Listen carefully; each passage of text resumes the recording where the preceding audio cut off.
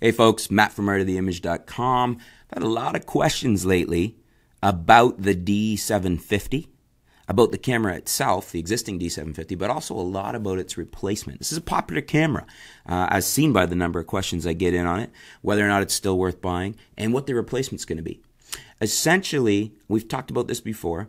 Um, there are supposed to be, I was just reading over on uh, Nikon Rumors, which made me think about this, and I've had a few uh, emails in just recently on it.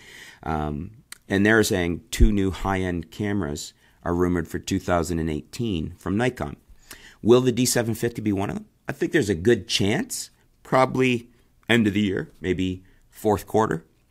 We will see an announcement for, let's say, the D760. I'm thinking that's what it's going to be called, but it's hard to say. We're thinking uh, there's a there's probably a good chance that the 760 will stay with the existing 24 megapixel sensor just in a tweaked format in, in the sense that we'll get another 24 megapixel sensor but maybe a better performing one uh, maybe a stop better high iso maybe a stop better dynamic range something to compete with the a7 III um, in the sense of dslr versus mirrorless in that in that category of sensor is what i'm talking about obviously we're talking about dslr versus mirrorless but i'm talking about the sensor and its performance and its resolution what I would like to see is uh, the 750 get the 810's 36 megapixel sensor. I think now that we have the 850 out with its 46, I think we could easily see Nikon put the 36, and it's already in the parts bin, uh, in the 750's replacement, in the 760, if you will. Get a, that that sensor is a beautiful performing sensor, and I think you could even take the existing sensor and with new technology on the processor side, tweak it and get your stop or two of high ISO improvement and dynamic range improvement. Even if we didn't, I'm still a big fan of the 810's performance as is. I think it would come out as an amazing camera.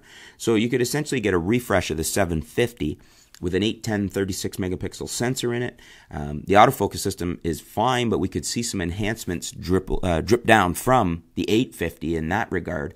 I'd like to see a fully articulated screen. I know we've debated this back and forth, but I think all cameras should have a fully articulated screen now.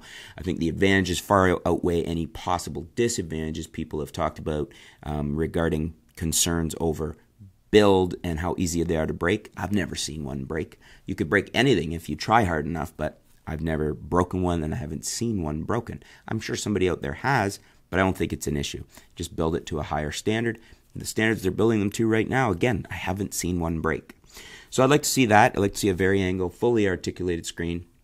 4K, obviously, um, some enhancements in there. Uh, and I'd also like to see um, basically, we should get a dual pixel autofocus system. Something like Canon's dual pixel autofocus system. We've talked about this with the coming Nikon full frame mirrorless cameras.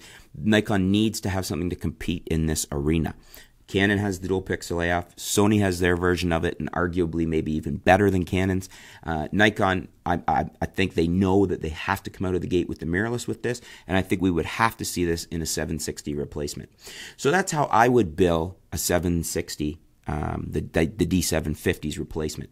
Uh, 36 megapixel sensor, bring it down from the 810 or just a tweaked one or even a new one with even better performance. The 4K with some tweaks and additions to that. I don't think we're going to see 8K from Nikon quite yet, even though Panasonic's working on it. I think we should see, I would like to see a full vari-angle LCD, obviously touchscreen. I would also like to see the um, the ability I would also like to see an enhanced autofocus system, a little bit of tweaks and improvements trickle down from the 850. And along with that, when we're talking about the autofocus, something to compete with, at least on par with Canon's dual pixel AF, if not groundbreaking, um, that beats them all. That would be nice because then it puts all the competition on their guard and they have to come out and produce something that's going to be even better, which only benefits all of us. What do you guys think? Do you agree with me on what we should see in a 760? I think we're getting closer to one. Uh, I think we're going to see one probably fourth quarter announcement. If not, I suspect we'll see one in 2019. Yes, I think uh, Nikon will announce one. I don't think this is going to be something that we don't see another body in the 750. Even though we've got some full frame coming out, I think you will see at least one more iteration of the 750. Um, but what do you guys think? Let me know in the comments below. Is that how you would spec a 760? Is there something else you would like to see in it? Do you think maybe we won't get a 760 because the mirrorless are coming out and you're going to see Nikon shift wholeheartedly to mirrorless? I don't think so, but maybe you do. Let us know in the comments below. Let's discuss it. This is a very popular camera, and I think the uh, the expected replacement is going to be very popular as well. Thanks for tuning in, folks. Looking forward to hearing what you guys have to say. Stay tuned. We'll be back soon here at artoftheimage.com.